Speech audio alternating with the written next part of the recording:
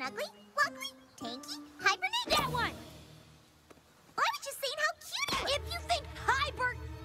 You know, that napping thing is so cute. Why don't you go do it?